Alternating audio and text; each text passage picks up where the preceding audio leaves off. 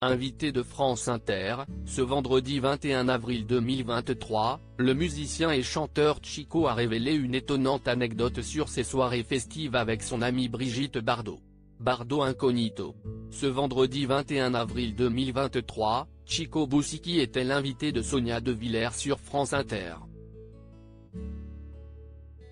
Le chanteur à qui l'on doit notamment la création des Gypsy Kings, qu'il a quitté au début des années 90 après un désaccord financier avec leur producteur, est revenu sur l'incroyable ascension du groupe spécialiste de la musique gitane. Il en a aussi profité pour évoquer les rencontres qu'il lui a été amené de faire tout au long de sa carrière. S'il a pu côtoyer les plus grands noms de la scène française comme Charles Aznavour ou encore Enrico Macias, l'homme de 68 ans a aussi révélé s'être lié d'amitié avec Brigitte Bardot. Il a d'ailleurs révélé la surprenante façon dont a connu la star de Saint-Tropez. Il y a eu un avant et un après Bardot j'étais invité par hasard pour jouer à l'un des anniversaires de Brigitte Bardot. Là, je passe une soirée, mais de rêve. À la fin de la soirée, elle me dit, si est le plus bel anniversaire de ma vie? Qu'est ce que je peux faire pour vous? Combien je vous dois?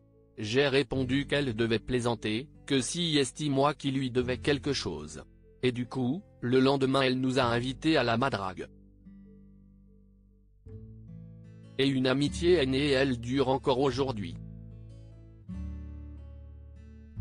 Je profite pour lui rendre un hommage car il y a eu un avant et un après Bardot, a raconté l'interprète de titres iconiques comme Bamboleo, ou encore Joby, Joba, au micro de la station publique.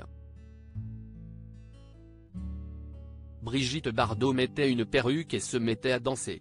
Chico dévoile aussi une amusante anecdote sur l'astucieuse habitude que l'actrice et chanteuse avait à l'époque, on n'était pas, encore, connus, elle venait avec nous dans les soirées privées. Elle mettait une jupe et une perruque, elle se mettait à danser. Incognito. Les gens disaient, mais si est bizarre, la danseuse elle ressemble à Brigitte Bardot.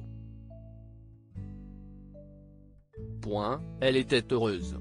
Après elle venait en Camargue pour mes anniversaires et on ne cesse plus quitter. Si est vraiment une amitié fidèle, a-t-il conclu.